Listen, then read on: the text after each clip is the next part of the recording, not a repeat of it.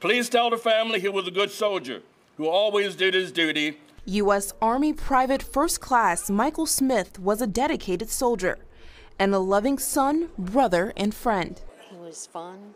He had a kind soul.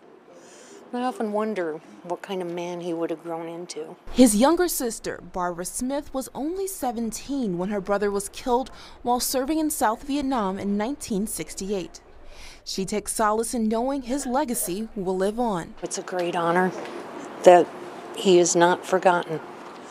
And that's the most important thing of all to, to the family and I. Today, the Honor and Remember Nebraska chapter presented a special flag to Michael's loved ones, a symbol of gratitude and a visible reminder of his ultimate sacrifice. The falling of their hero never leaves their soul.